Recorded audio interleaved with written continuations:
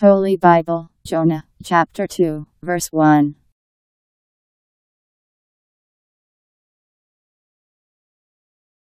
And the Lord made ready a great fish to take Jonah into its mouth, and Jonah was inside the fish for three days and three nights.